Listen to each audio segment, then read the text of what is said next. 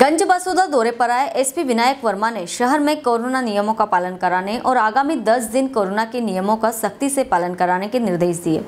विदिशा ज़िले सहित गंज बासुदा में लगातार बढ़ रहे संक्रमण पर लगाम लगाने पुलिस और प्रशासन लगातार जद्दोजहद कर रहा है। लेकिन इसके बावजूद भी आम जनता जागरूक नहीं हो रही है।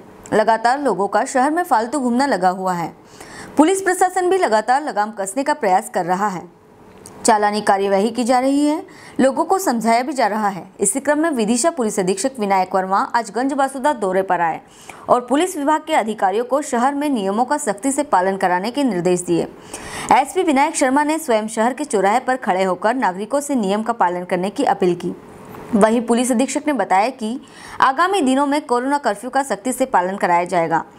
बेफिजुल घूमने वाले नागरिकों से पूछताछ की जाएगी एवं चालानी कार्यवाही की जाएगी। गंज बासुदा से मुकेश चतुर्वेदी की रिपोर्ट। सर आज गंजवासा तो आना हुआ देखने में आ रहा है भ्रमण करते हुए क्या पाएगा गंज बसोदा जो क्षेत्र है वहाँ पर जो लॉकडाउन इन्फोर्समेंट है उसके संबंध में मैं यहाँ भ्रमण कर रहा हूँ। कलेक्टर महोदय पूर्व में भ्रमण कर चुके हैं यहाँ पर। हम दोनों ही मानते हैं कि स्थिति में सुधार की सख्त आवश्यकता है। ज़रूर पुलिस और प्रशासनिक बल प्रयास कर रहा है लेकिन अभी उसका रिज़ल्ट जितना हम चाहते हैं उतना ग्राउंड पे नहीं दिख रहा है। इसलिए आज मैंने मीटिंग भी ली है और स्वयं चौराहों पर खड़े होकर मैं चिन्ह की स्थिति भी देख रहा हूँ। हमने छः ऐसे पॉइंट चिन्हित किए हैं, जहाँ पर प्रतिदिन बल का देखना अति आवश्यक है, जिससे पब्लिक में सख्ती का मैसेज जाए। साथ ही किस तरह से रोकना टोकना है, क्या आचरण रखना है, किस पे चालान बनाना है, और किस हद तक हमें सख्ती करनी है, इसके बारे में स्पष्ट निर्देश दिए जा चुके हैं। पब्लिक से हम कोऑपरेशन चाहेंगे कि पुलिस प्रशासन का सहयोग करें, क्योंकि आप लोगों की कोऑपरेशन से यदि ये लॉकडाउन सफल होता है तो पूरी संभावना है कि बहुत जल्द ये समाप्त भी कर दिया जा सकता है।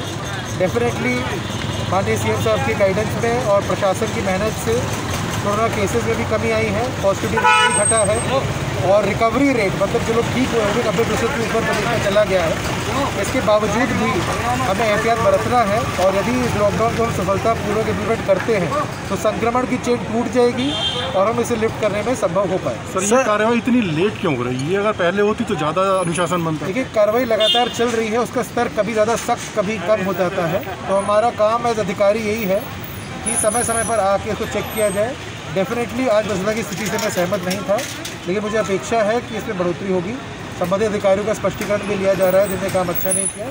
लेकिन हमने यही बताया पुलिसिंग को कि फर्म बट पुलाई यानी आप सख्त रहिए लेकिन अभद्र मत होइए।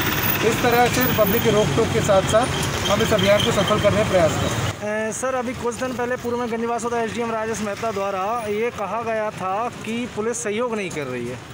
ऐसा क्यों सर? हमने एस डी एम साहब और एस डी के साथ में चर्चा की है।